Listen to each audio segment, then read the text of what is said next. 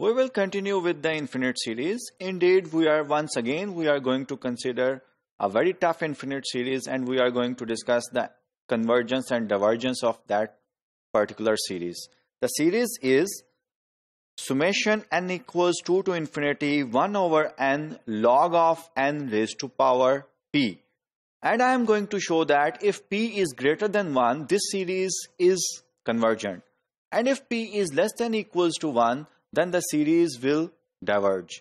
अब इसमें मैं जो अभी harmonic series summation one over n raise to power p जो है इसको मैं अप्लाई करूँगा। ये मुझे पता है कि p ग्रेटर देन वन पे मैंने साबित किया है कि ये कन्वर्ज करती है। If p greater than one हो p less than equals to one होगा तो ये सीरीज़ जो है ये डिवर्ज करेगी। सो so, ये जो स्टेटमेंट है इसी को मैं प्रूफ करूँगा। अभी जो है रिमार्क क्या है?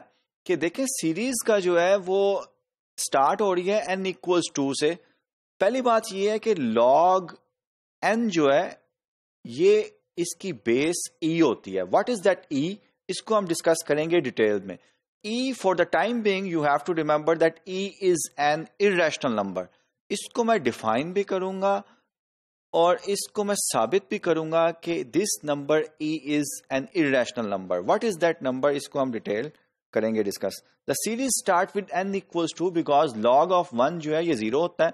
Log of one n equals one allow नहीं किया जा सकता था. Otherwise we will have something over zero which is infinity we can't allow this one ठीक है?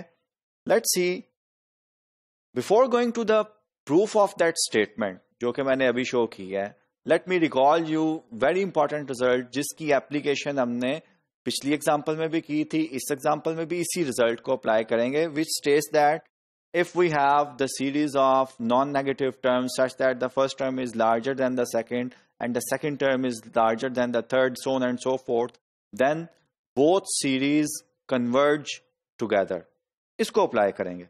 लेकिन फॉर्मल प्रूफ स्टार्ट करने से पहले ये हम ऑब्ज़र्व करते हैं कि लॉग बेस ई एक्स जो है, ये मोनोटोनिक फ़ंक्शन है मोनोटोनिकली इंक्रीज कर रहा है, यहाँ पे डिफरेंट ग्राफ्स जो है वो मैंने शो किए आपको।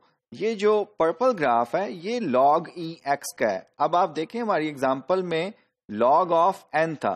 It means log of n जो है, ये मोनोटोनिक फ़ंक्शन है implies log of n increases log of n increase कर रहा है। Hence one over n log of n जो है, इसको आप साबित कर सकते हैं कि ये as a function of n that will be decreasing function इसके प्रूफ में हम ये यूज़ करेंगे। So we have the theorem which states p greater than one के लिए ये सीरीज़ जो है, ये कन्वर्ज करती है। If p less than equals to one है देन द सीरीज़ डाइवर्जेस यहाँ पे एनथ टर्म क्या है? A n equals one over n log of n raise to power p अब इसको यूज़ मैं किस तरह करूँगा? The monotonicity of the logarithm function implies log n increases ये ग्राफ भी मैंने आपको शो किया है। Hence one over n log n decreases ये डिक्रीज कर रहा function the series this and the series summation two raise to power k a raise to raise to power k both converge or diverge together. So, this series and this series I will calculate this series जो कि यहाँ पे calculate की गई है। A N आपका ये है तो a two raise to power k क्या बनेगा? N will be replaced by two raise to power k log of two raise to power k and p अब लॉग की प्रॉपर्टी यहाँ पे मैं यूज़ करूँगा। लॉग की प्रॉपर्टी मुझे पता है log m raise to power n ये इक्वल किसके होता है? Equals n log of m के ये प्रॉपर्टी यूज़ करके मेरी जो a two raise to power k term जो है, ये बन जाएगी one over two k log two की पावर पी एंड के की पावर पी ये मेरी टर्म बन जाएगी। So this series this series will take this form ये यहाँ पे two raise to power k multiply हो रहा है और ये आपका a subscript two raise to power k जो कि मैंने ये कैलकुलेट किया है।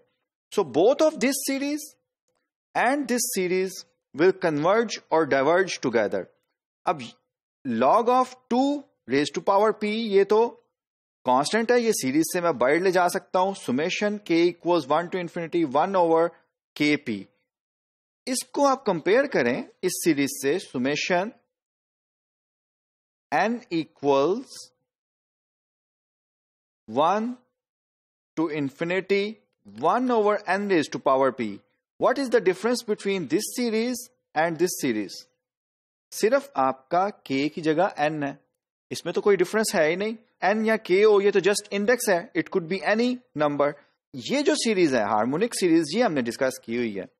So this series will converge if p is greater than 1 and diverge if p is less than equals to 1.